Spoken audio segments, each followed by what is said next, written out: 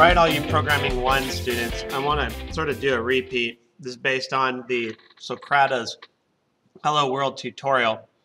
And our work environment is a little different, so we're going to have to do it just similar, but a little different. We're going to start with command line, CMD. Hit enter.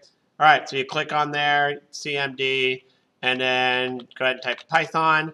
Opens up the Python. This is called the shell or the interactive session. And then you can do print hello shell and hit enter. And then you get the comment. So the Python command is the print, and you notice the parentheses, you have quotation marks, you write some text, and then it just spits that text back. You want to get out of Python, it's exit like this. Now, uh, when you're in here, um, you can do some command line entries uh, but what we're going to do is we're going to go out of this and we're going to do the rest in the git bash. Um, and the reason why is because if you type vim, it'll say vim is not recognized as an internal external command. I'd have to go into all the computers in the lab and install it, and I'm kind of lazy that way. So I'm just going to exit out of here, and then we're going to do git bash. So the rest of this is on git bash. And we're going to do some of these commands you could actually do in command line. Um, so dir sends us a list of everything in the directory. Now, this folder right here, this is my username, and that's the computer name. So this little thing means we're at basically here. Okay. And so I'm going to go into documents, and what we're going to do is we're going to create um, a new folder for our Python examples. Make dir and they're going to put documents slash Python examples. Now, if you use the underscore, things work. So let's go over here. Let's take a look. I have to go back and then forward. You'll see now Python examples there. Let's try it with the space and see if we can do that. Now, one of the things is we're in users folder and so if I were to, I have to put the, the first folder, this first folder already exists. But what doesn't exist is this thing, Python examples. Hit enter. Now, the first one has an underscore, this one has a space. I'm going to do the space, I'm going to go back, I'm going to go forward. There is no Python examples with the space.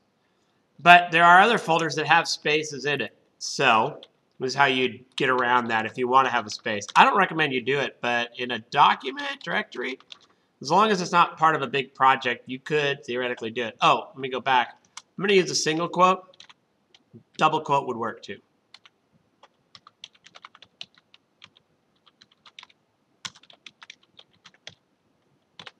Like so. And we go back, go forward. Now you can see Python space examples is there. Okay, so we create it. Now I'm going to go ahead and delete that because we don't want to. I, I, like to use the one that has the underscore. I already have a folder called Python project, so I theoretically could have done it there.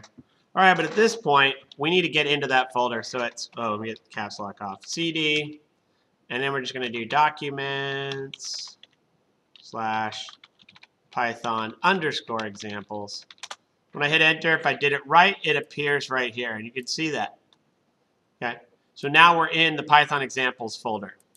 From here we type vim. Now we're in the vim editor. All right, notice this bottom corner here, it says nothing. If I start typing letters like TH, it starts doing that, blinking. It looks really annoying. And then suddenly, it goes, it says insert. Let me show you that one more time. I'm gonna, oops, I'm gonna hit escape and get out of here. Oh, there we go. Q exclamation. All right, let's do it one more time. Vim. All right, type S. Typing S puts you into insert mode. And then you can just do a Python command, uh, print hello Vim. Hello Vim. All right, S allows me to edit. Then I type everything out. Notice the parentheses are highlighted. Not sure why it does it, but it does, so get used to it. So now you hit escape.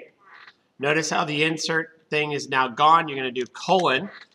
You're going to do WQ for write quit, and you're going to type 01, sorry, 01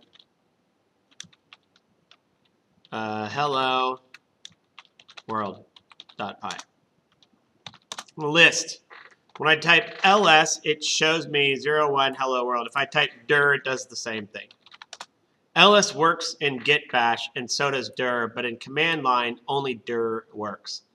And now I have the file to test it out. You just type python and then the name of the file. 01 hello underscore world.py. And it actually runs Python. And now it says hello Vim. Well, in this case, it's git bash. Maybe I should have said that instead. Let's say I want to edit it. Vim. Now I want to go in and I'm going to type the 01 hello world.py now we're in there, type S.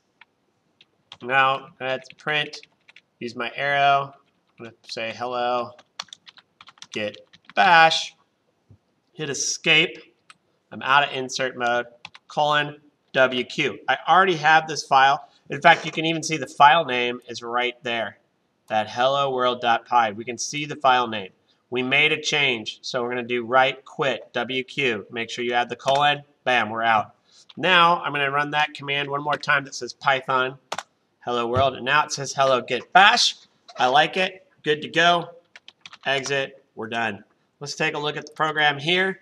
There it is. And that is what you're going to turn in on the Canvas website to illustrate you did what you did. I would also take a screen capture of maybe the Vim editor and or your command line and or git bash. There you have it. Thanks for watching. Stay tuned for more.